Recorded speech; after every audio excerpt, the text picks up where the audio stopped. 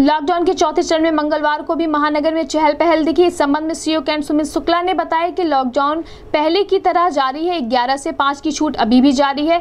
कुल आठ प्रकार के प्रतिष्ठानों को छूट अभी भी जारी है। शहर की स्थिति बहुत अच्छी नहीं है। बिना मास्क के बाहर ना निकले, बहुत ही आवश्यकता पर बाहर निकले सोशल डिस्टेंसिंग का पालन करें।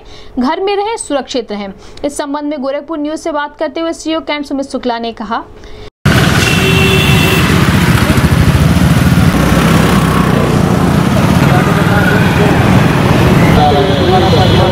ऐसा है कि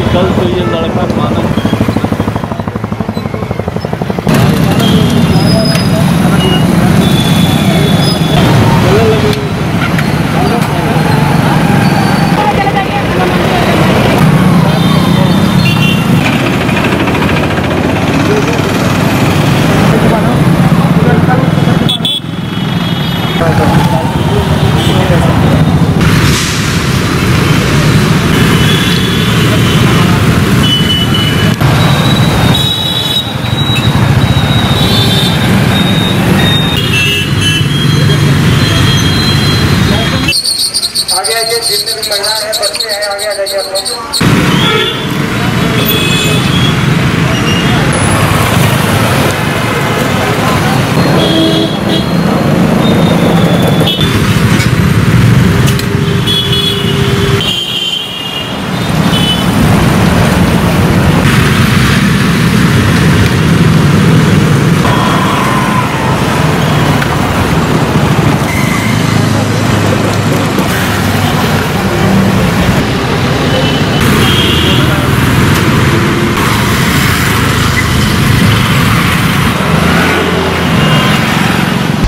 अभी लॉकडाउन के चौथे चरण में जो लॉकडाउन थी, में छूटे थी, वही छूटे अभी भी चालू हैं। आज नई गाइडलाइंस जिलाधिकारी महोदय द्वारा जारी करी जाएगी। उसमें क्लियर होगा कि कल से क्या क्या अल्टरनेट डे में खुलना है।